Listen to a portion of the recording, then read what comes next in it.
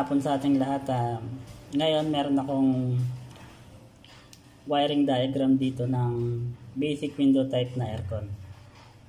Bali, papaliwanag natin, isa-isahin natin kung ano ba yung maaaring symptoms kapag halimbawa masira yung bawat pyesa sa unit na to.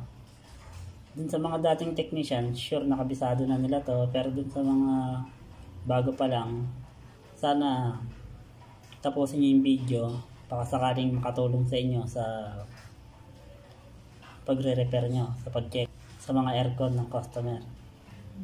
Kasi bago tayo makapag-check up, kailangan naintindihan din natin kung paano gumagana yung unit. Etong pan motor natin at yung compressor, yan dalawang yan lang naman ang load ng window type natin. Kailangan nila ng line 1, line 2 para gumana. Dito makikita natin kung babaybayin natin. Yung line 1 pumasok sa rotary switch. Naipaliwanag ko lang sa isang video ko kung paano ba gumagana to sa bawat pagpihit mo ng knob. Yung rotary switch, uh, ganito tira ng dun sa mga di pa napanood dun sa isang video ko.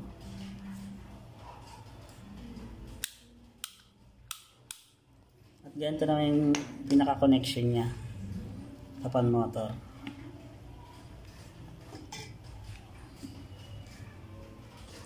Bali mula dito, papasok siya sa rotary switch. Papasok ng pan.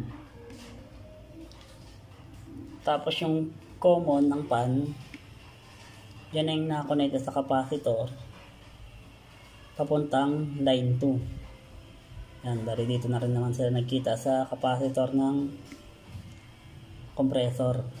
Pero connected yan sa line 2.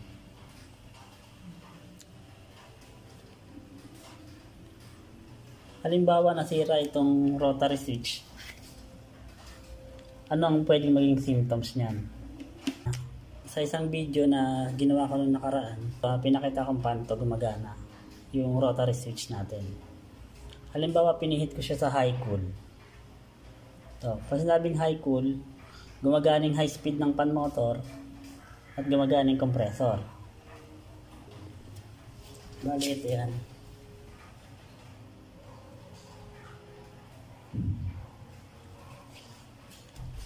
pag pag pinihit mo siya sa high cool, dapat gagana ang fan motor at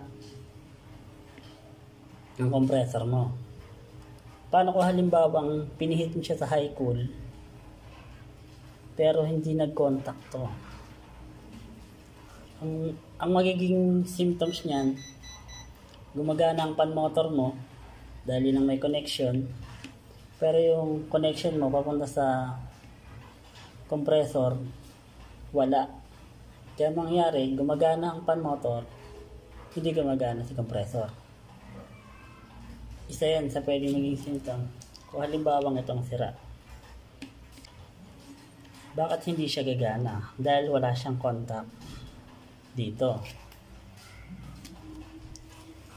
Wala siyang contact dito na dapat meron. O di kaya pinipihit mo siya sa sa lopan, no, pinihit lang siya sa lopan, pero hindi siya gumagana. Yan. Yan ang maging sira kasi hindi siya nagkakaroon ng contact dito sa ating pan motor tsaka kaya sa compressor. Ngayon, paano naman kung halimbawang nasira thermostat?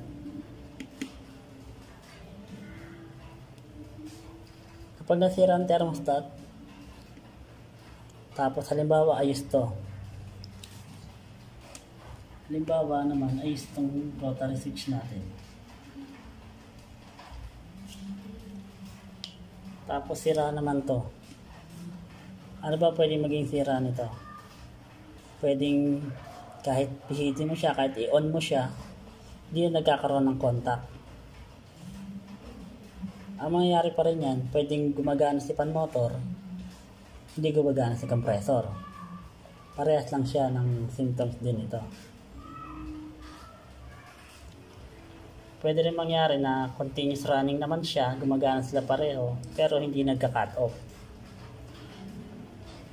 Sineting mo naman siya. Halimbawa sa pinaka off offsetting mo na siya. Pero hindi pa rin nag-off maaaring sira to.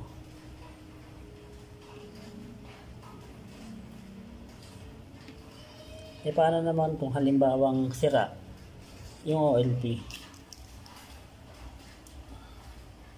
ang OLP natin ang reading nito normally close pag tinester mo to ang lalabas na reading mo to dapat shorted halimbawa ang ma-reading mo dito open sira na to kailangan mo na siyang palitan. Halimbawa ito nag-open. Halimbawa yan nag-open.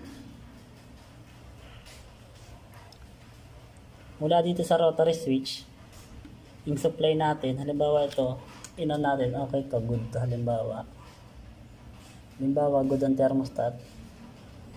Putol dito. Gagana pa rin yung pan motor pero yung compressor mo hindi pa rin gagana.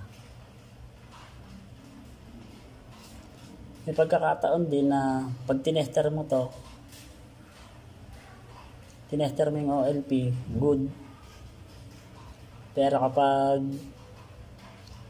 pinagana mo na sa unit, saglit lang minsan, kahit hindi pa siya ganun kala, kahit hindi naman siya uminit ng sobra o kaya naman na sakto lang yung amperahe niya, bumibitaw to. Minsan kasi, nagiging sensitive sa init o kaya sa, sa pasok ng kuryente, itong overload. Ngayon, halimbawa, ang sira naman itong running capacitor ng compressor. Connected yan dito sa running. Running at line 2. Line to supply.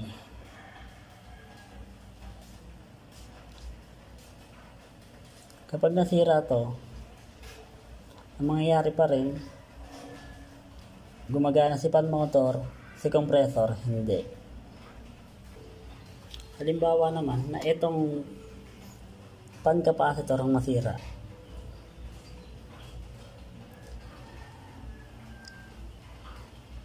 Ang mangyayari lang dito, pwedeng hindi ito gumana o di naman kaya mahina ang ikot. Kaya ang maaari maging symptoms din yan sa aircon, mag-ice build up. Dahil gumagana si capacitor, uh, gumagana si compressor pero hindi gumagana yung pan motor o kaya naman mahina